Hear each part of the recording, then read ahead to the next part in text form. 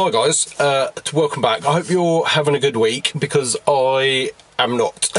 um, so I'm currently sat in my MX-5, but I should be sat in my buddy Dom's Renault Megane RS 250 Cup.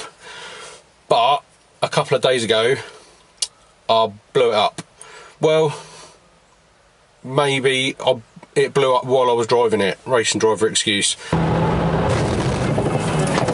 Either way, I feel terrible and uh, yeah first of all shout out to my buddy Dom whose car it is because uh, not only has he been super cool about all of this and the fact that it's in bits literally there's bits hanging out of it um, he's the one that, that suggested I make this video so shout out to him.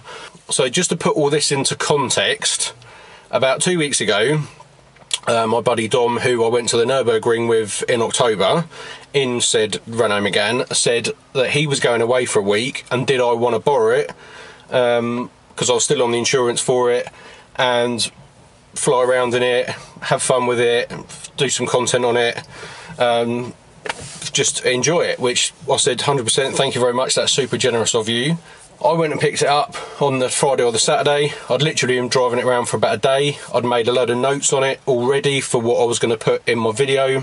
On the Sunday afternoon, I think, my boy wanted running up to the farm because they've got like a mountain bike course thing up there. His mountain bike was already up there, although you probably nearly fit a mountain bike in the back of it because it's quite big. And for some reason, I'd grabbed a camera because I thought, I haven't done any filming in the car yet. Grab a camera, get his reaction he's probably the worst person to try and film and get a reaction because he's been on track with me. Uh, we do speedies on the road. He's not really fazed by anything. But I thought I'll grab a camera anyway. We'll talk about the car for a bit. It's about five ten minutes away from my house. We got near there. Everything was up to temperature. It's got a kind of cool layout and it tells you all the oil temperature, intake temperatures, all that sort of stuff. I could tell it was all up to temps.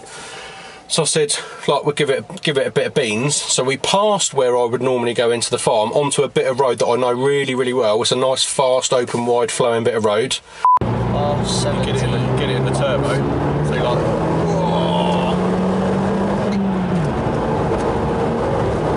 Giving it some beans, gone round the right hand corner fairly speedily. It was wet, or damp or wet, I can't remember, but Oh, it, this thing's got so much grip, honestly, it's mega.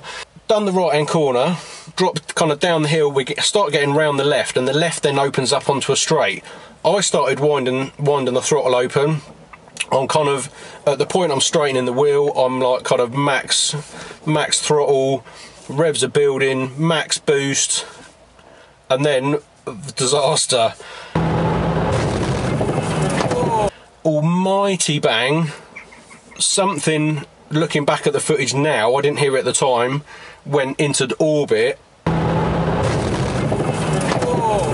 First time I looked at the looked at the footage, I thought it was the revs. I'm still not 100% sure. It sounded terrible. I immediately looked in the mirror. You see from the footage, I looked in the mirror because I thought I was going to see bits of engine in the road. My boy proper had kittens. He was not sure what to make of it all. I immediately dipped the clutch. First thing I thought was to dip the clutch. My second thought was immediately turn the camera off, which is a bit random. I don't know whether I thought I felt really guilty that I've been caught in the act doing something wrong. I don't know.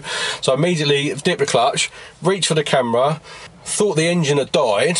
Now I'm coasting. I've knocked it into neutral. I've coasted round the right hand corner, and I looked down because all the like load of lights and stuff have come on at the dash, which is why I thought, oh, the engine stopped. Then I realised the engine was actually just ticking over.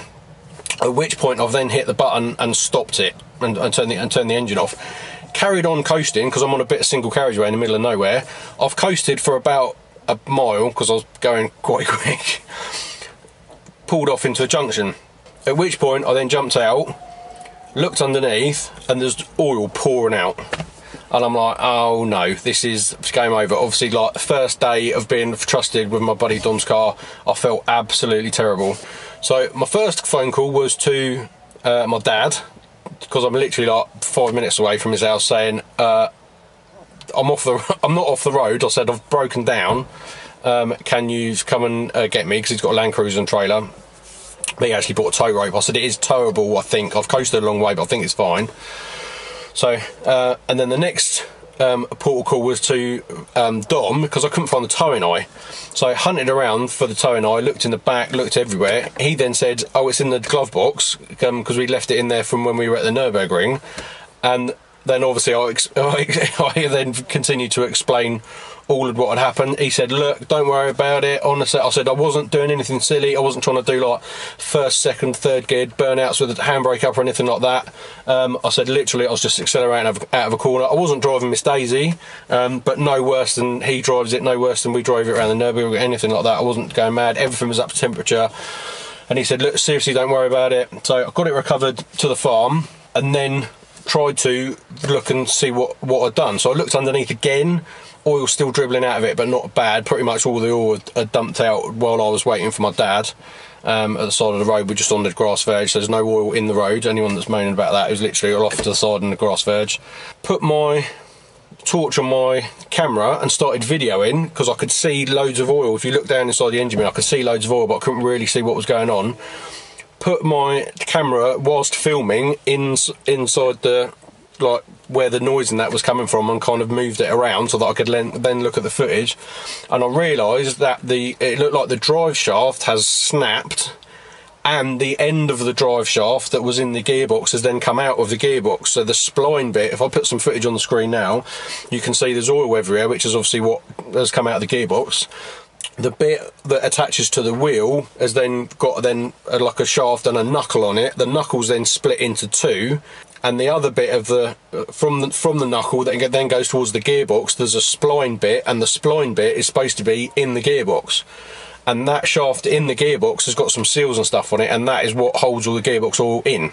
So at that point i was then slightly relieved and then i thought oh all it is is a drive shaft. I mean still not great but then i was then thinking what else has happened as the drive shaft has been ejecting itself while i was doing about the speed limit. Obviously, the banging and clonking and stuff, it, the bit that's still attached to the wheel, you've then got the shaft and the knuckle, that's then flinging around. Oh, that wasn't good. Oh. Has that damaged something else? Has that hit the part of the engine? Uh, has it hit the taken the sump out? I, I know, like as drive shafts and and uh, prop shafts eject themselves, they take all manner of other stuff out. So has that damaged something else? My main worry is that when I look, went and looked back at the footage, at the point when the drive shaft let go, you can hear something just rev to orbit, and my worry was that I'd buzz the engine. and then I've killed the engine. Looking back at it again several times, and then over a couple of days, kind of thinking and mulling over it, in my head, you can only buzz an engine when the wheels are pushing the engine. Like if you go from like fifth to fourth, but you go to second and, and put loads and loads of um, force through into the engine from the wheels, then you're going to buzz an engine. But it was under its own steam. I was only on the throttle, so at which point in my head it's the same as just dipping the clutch and then the revs it would have just bounced off the limiter.